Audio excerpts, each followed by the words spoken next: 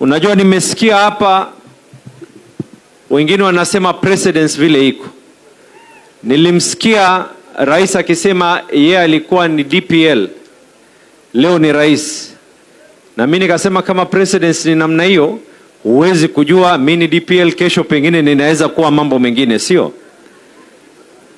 Lakini I can tell you one thing, mimi sio mtume, mimi sijapatiwa maneno na Mungu kuweza kumulika yale mambo ambayo kwamba yatatokea katika siasa.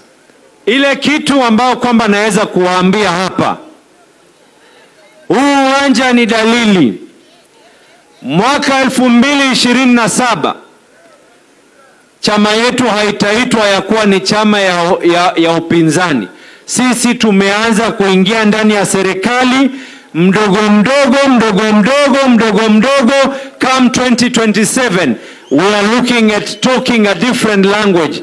We are no longer going to be the ones kusema ati tunataka kufanyiwa jambo fulani fulani fulani. Sisi ndo tutakuwa tunaambia wengine, wale wenye kutaka upinzani, wao ndo watakaokuja kutuambia wanataka kufanyiwa mambo gani na gani na gani.